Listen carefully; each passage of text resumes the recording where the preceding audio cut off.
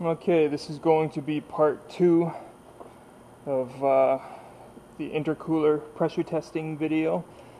I've got my uh, intercooler in this container. I've got my GoPro right here, so when I close the lid, I should be able to record whatever happens inside. I'm going to turn this guy on.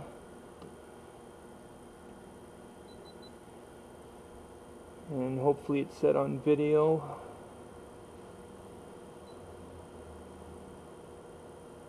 So that's recording.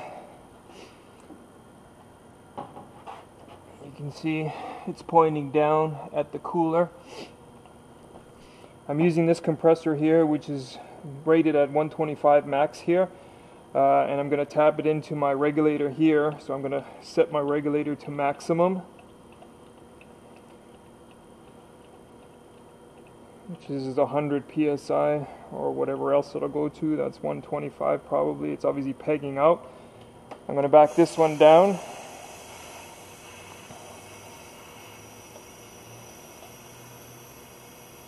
You can see the gauge is dropping, so uh, what basically what I'm going to do is hook this up to the intercooler.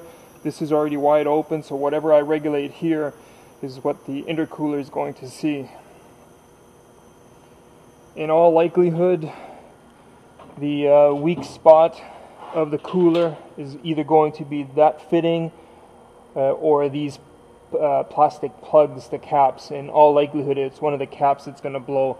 The oil, uh, the drain plug, I really doubt that's going to be an issue. So I'm going to put this guy in here as well. And it might even be in view of the camera.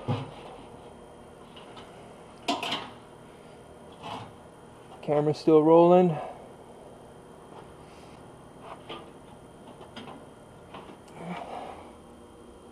That should look okay. So let's see what happens.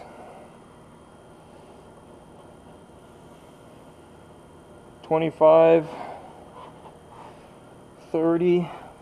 It's reading twenty-five, climbing up. Twenty-five.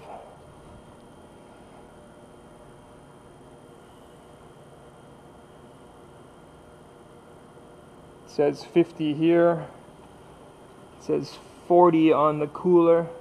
I can hear some air hissing. Gonna crank it up some more. 60 psi, almost.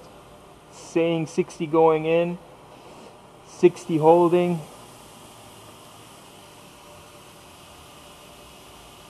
80 it's leaking at 50 and it's probably the yellow cap. So very uneventful here.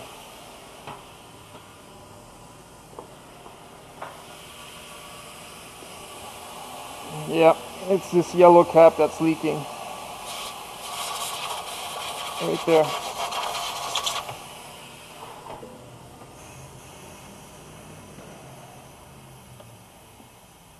So I'm to have to try something else. I'm not sure how that's to work and when, but I'll keep you guys updated.